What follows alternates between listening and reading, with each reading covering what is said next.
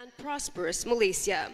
To further illuminate this synergy and guide us on this journey of progress, we're deeply honored to have with us the architect of Economy Madani, a leader who champions innovation and inclusivity, driving Malaysia's journey towards a digitally powered future.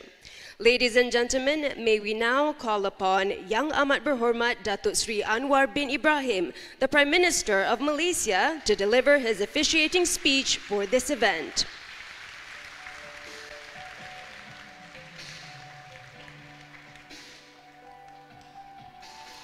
Assalamualaikum warahmatullahi wabarakatuh. Salam sejahtera.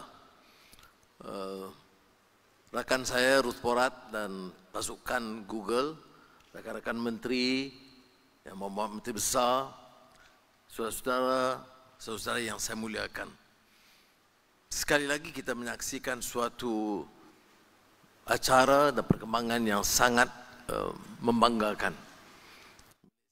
Telah diberikan perhatian sebagai suatu gelanggang pelaburan yang bermakna untuk mengangkat keupayaan kita dalam bidang digital. Jadi saya percaya dalam kerangka ekonomi madani salah satu tunggaknya dan bersama dengan beberapa dasar yang kita umumkan dari sudut pelan perindustriannya, digitalnya, hijau, itu dapat kita penuhi dengan penyertaan Google. Saya lebih tertarik kerana mendengar pandangan-pandangan dia kemukakan terutama pasukan Google dan juga Tunku Zafrul. Dia serasi dengan dasar kita. Ya, peningkatan digital dan AI, kehijauan, satu kegiatan yang mengambil kira keperluan semasa digital, uh, inklusif, dan tidak meninggalkan seluruh kelompok masyarakat.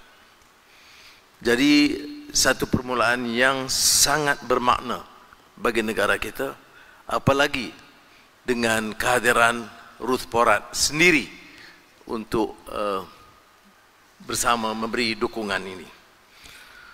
Ministers, uh, excellencies, ladies and gentlemen.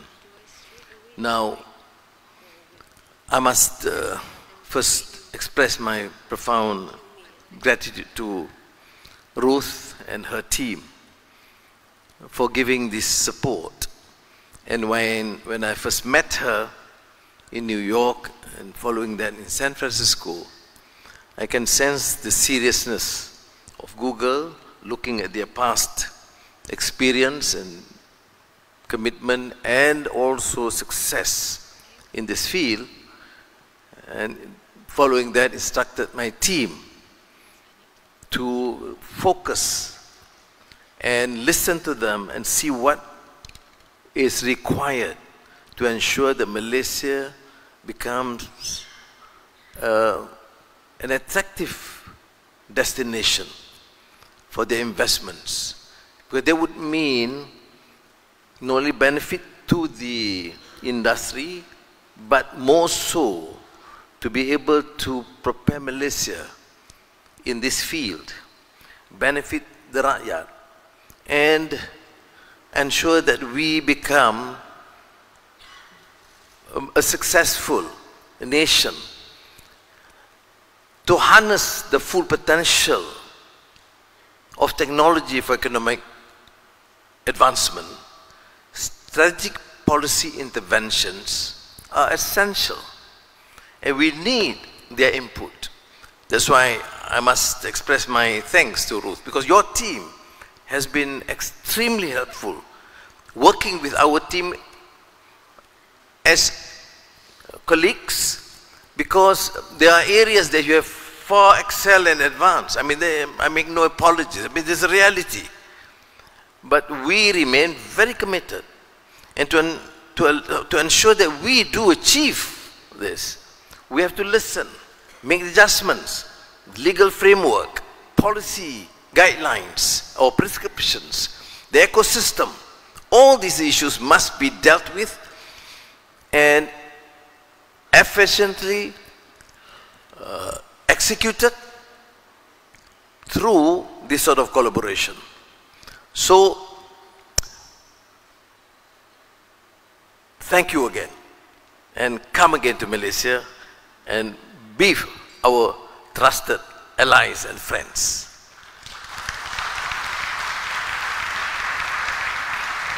Now, we also aim to position Malaysia as a hub for generative AI.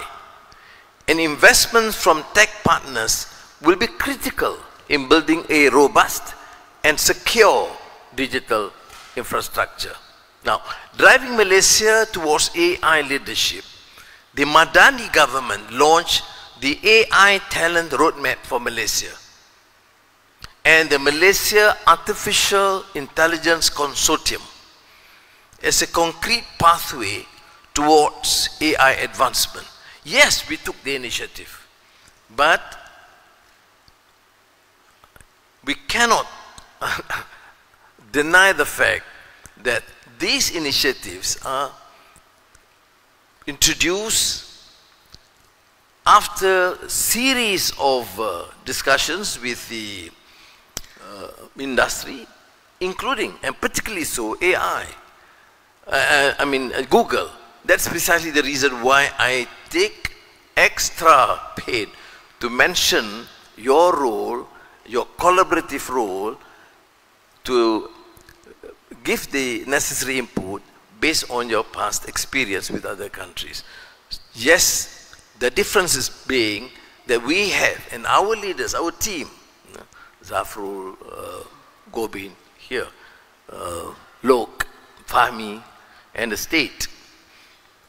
We have the humility and we acted fast enough because we want Malaysia to succeed and we believe and trust Malaysian, Malaysian companies, Malaysian civil society having the capacity to absorb this and bring up our nation as a successful, vibrant economy and hopefully the best in the region. Now, in line with efforts to position Malaysia as a competitive player in the global AI landscape, the government is establishing the National Artificial Intelligence Office. Again, on the insistence and suggestion of many of these companies, because they require this office to coordinate all initiatives related to AI technology. So inshallah, in the next 12, 12 months, we aim to achieve several key, key outcomes, including to complete AI technology action plan. When I say 12 months, this was a suggestion by the ministers. To me, we, there's no reason why you need to wait for six months, uh, 12 months. You should be able to complete in six months. Otherwise, we have to make some adjustments with the cabinet. And this include a regulatory framework to increase adoption of ethical and sustainable AI technology.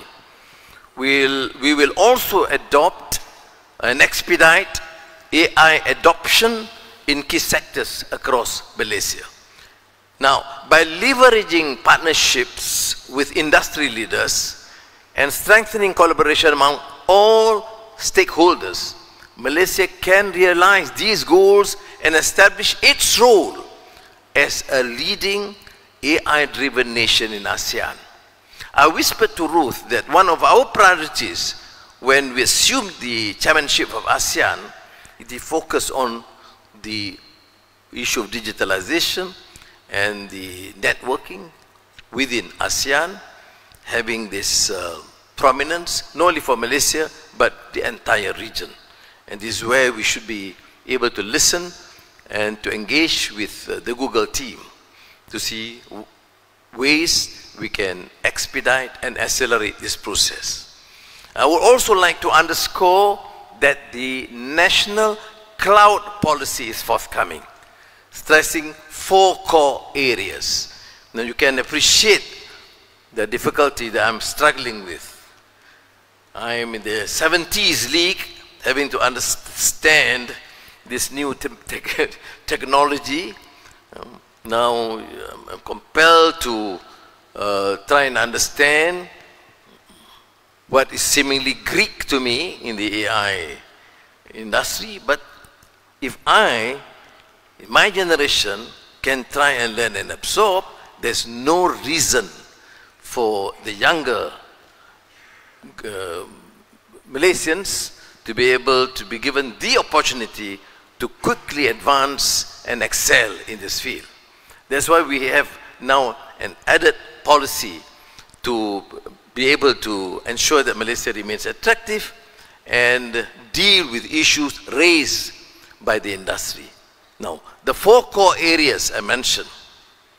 First, the Madani government will boost public service innovation and efficiency. Now, this is particularly important, um, and again, precisely the reason why I have decided that after 12 years, we'll make um, a major departure from the existing salary scheme to make sure that uh, Malaysia remains uh, uh, efficient through an efficient public sector. And that's why the salary scheme will be implemented from the 1st of December. And more important, with the revised salary scheme, the level of efficiency must also increase exponentially. Um, um, the Americans say to enhance, but I say to enhance the capability. Now, second, we seek to promote economic competitiveness and growth, fuel economic expansion by enabling businesses, especially SMEs and startups, to harness cloud technology for innovation, operational efficiency, and access to global markets. Third, we are committed to strengthening user trust and data security. The government will establish robust security frameworks and protocols to protect sensitive data and critical infrastructure in both public and private cloud environments. Finally, we will empower citizens through digital inclusivity. Our approach will be citizen-centric and inclusive, utilizing cloud technology to enhance the accessibility and efficiency of digital first public services. The Ministry of Digital has been tasked to spearhead Malaysia's comprehensive digital transformation initiatives. Now, ladies and gentlemen, embracing technology will allow government agencies to optimize processes, lower costs, and serve the rakyat better. A notable example is, of course, the Ministry of Education's creation of the Delima platform of Google's cloud technology. I've seen it, impressive and major contribution to enhance the level of education, the standard of education, and the proficiency of our students in acquiring and acquisition um, languages, particularly Bahasa and English. I am pleased to note that 5.5 million students and teachers in Malaysia today use the Delima platform to transform their educational experience. This effort should be emulated the whole government, by the whole government machinery, where appropriate. We will address this issue in the cabinet meeting tomorrow, inshallah, and to, to alert my colleagues.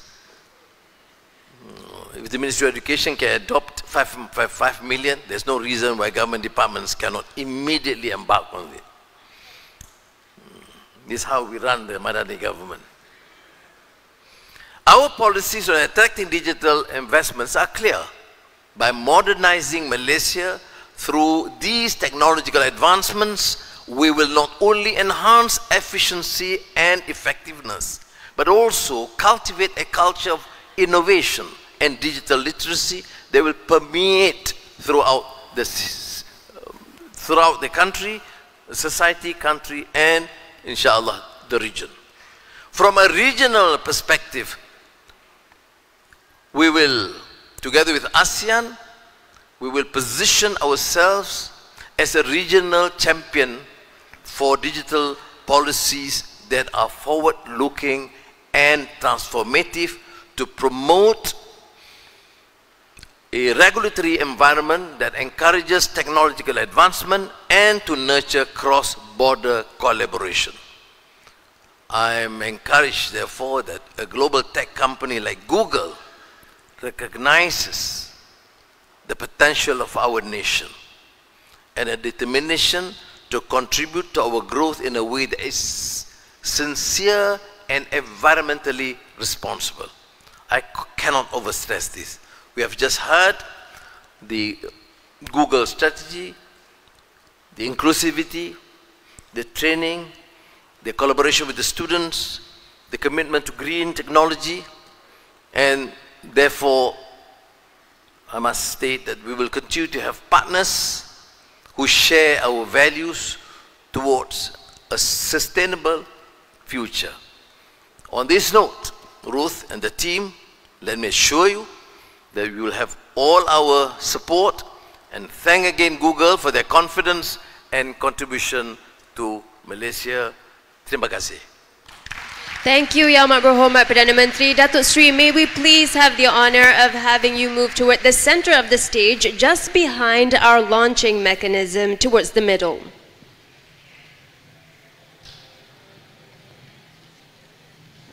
Right.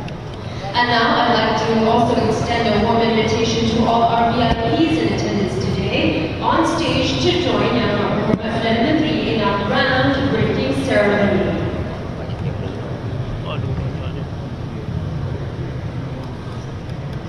Ladies and gentlemen,